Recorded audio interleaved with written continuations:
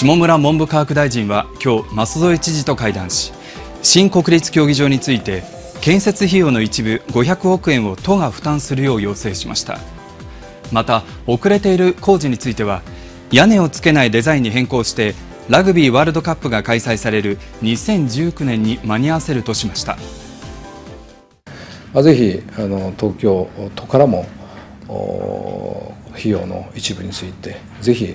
負担をしていただきたいという今日はお願いで参りましたので、はい、よろしく検討お願いいたします、はい、会談で。下村大臣は競技場はオリンピック後に都の財産にもなるとして費用の一部500億円の負担を舛添知事に要請しました。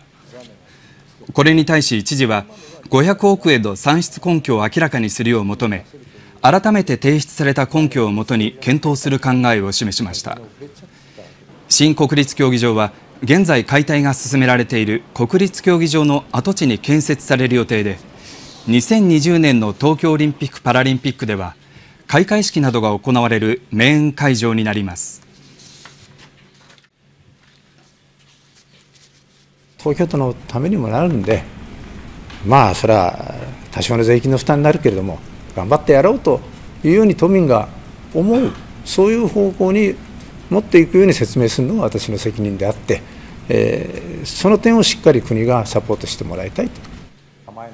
また知事は建設が間に合うかどうかを正したところ下村大臣は計画通りでは間に合わないとして建物に屋根をつけないデザインに変更することを明らかにし完成は計画通り2019年の春だと強調しました屋根はオリンピック終了後になるということです